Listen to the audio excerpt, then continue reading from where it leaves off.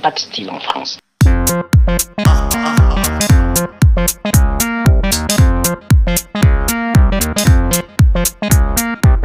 Il n'est pas une mode si personne ne la voit.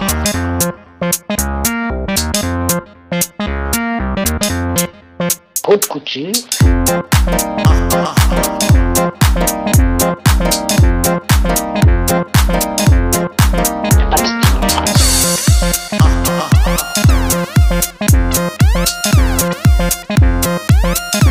Il n'est pas une mode si personne ne la voit.